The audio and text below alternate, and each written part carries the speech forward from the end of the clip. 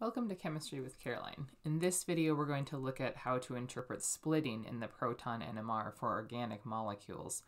So splitting refers to how a signal shows up. So is it a singlet, a doublet, a triplet, etc. So protons will be split by non-equivalent protons on next or neighboring carbon atoms. So if you haven't watched my video on how to assign unique protons, you need to go back and do that first and then come back and watch this video. So in that video, we talked about how to identify protons that are unique, label those, and then use that information to predict the number of signals that we'll see in a proton NMR spectrum.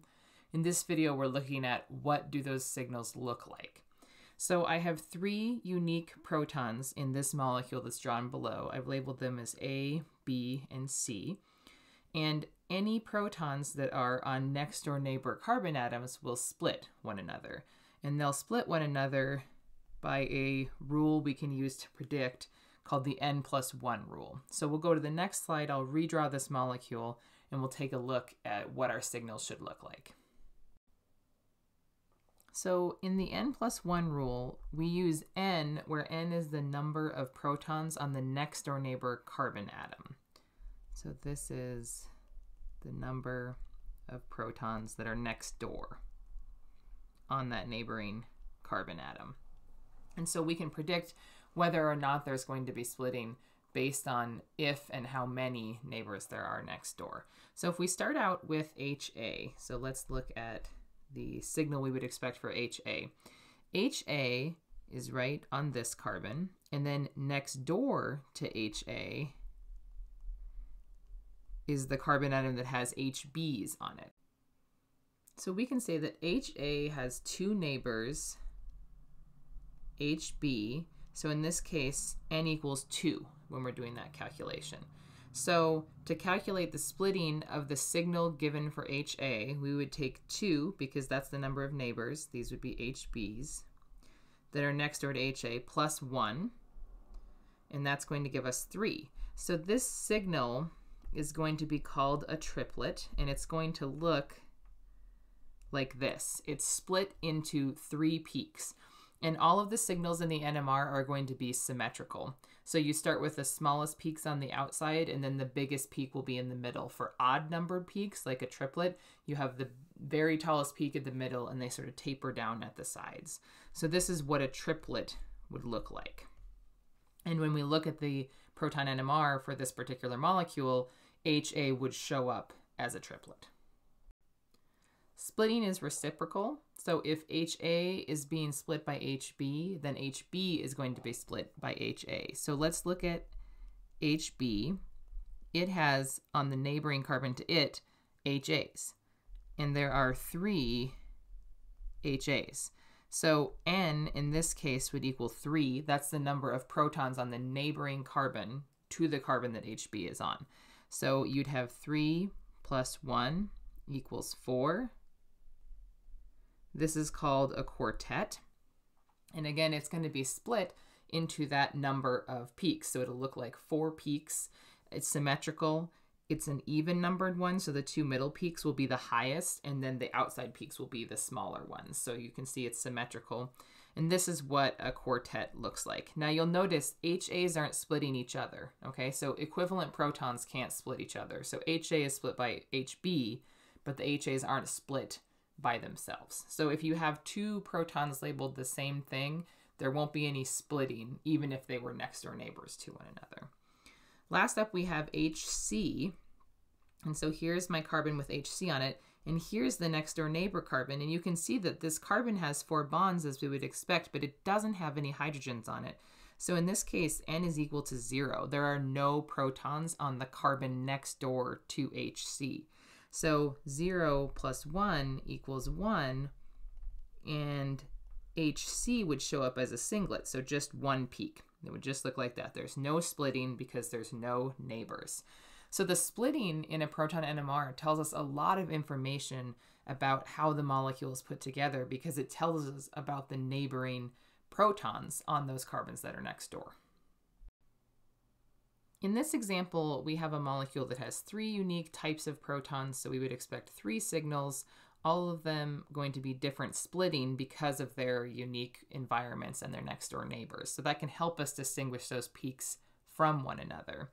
HA is next to a carbonyl carbon again. So here's HA and here's the neighbor. And again, there's no protons on there. So this is 0 plus 1, N plus 1. And so that would be a singlet.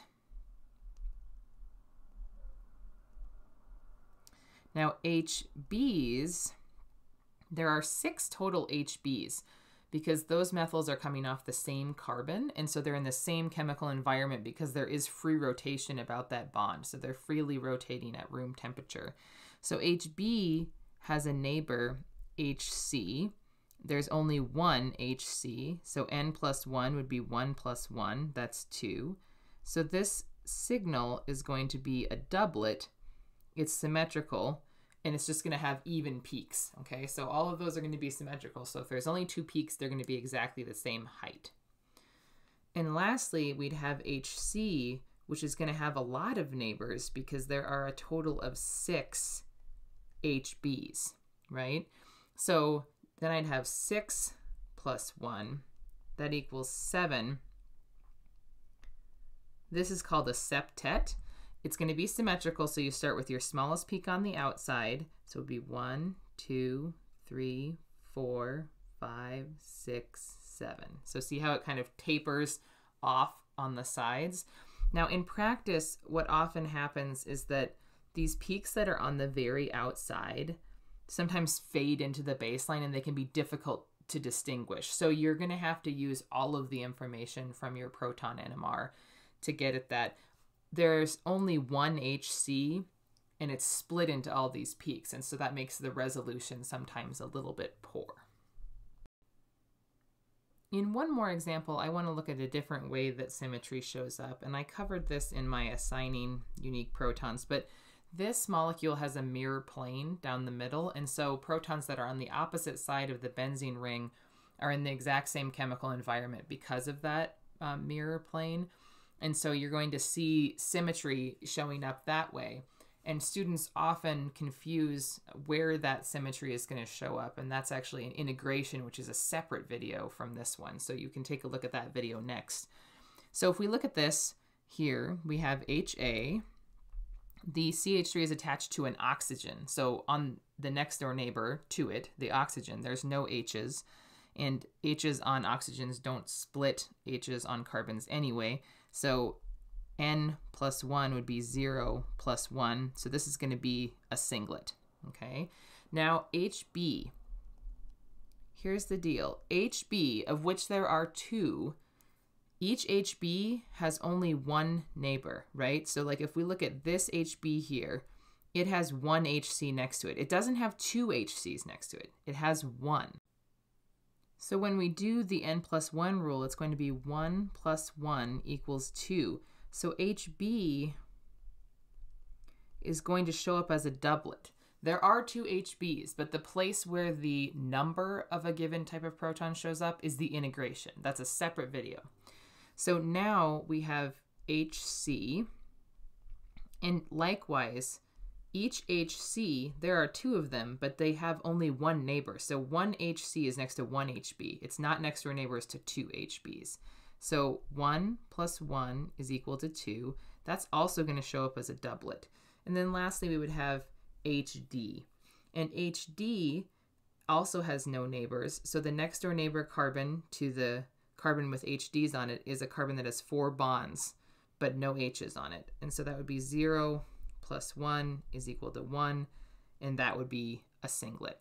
So if we look at our predicted splitting patterns, we have two singlets and we have two doublets.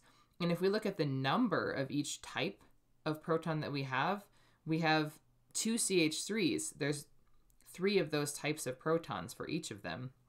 And then we have two different types of protons on our benzene ring. So Splitting is very important. It gives us a lot of information, but it's only a part of the puzzle. Integration, which is the relative number of each type of proton, and chemical shift, which is where does that signal show up on the proton NMR spectrum, are the other pieces of the puzzle. And we really need to figure out all of them to be able to solve a complex spectroscopy puzzle. So this is how you do splitting in the Proton NMR, how you would interpret splitting. If you found this video helpful, please like, subscribe, and share with your friends, and I'll see you next time.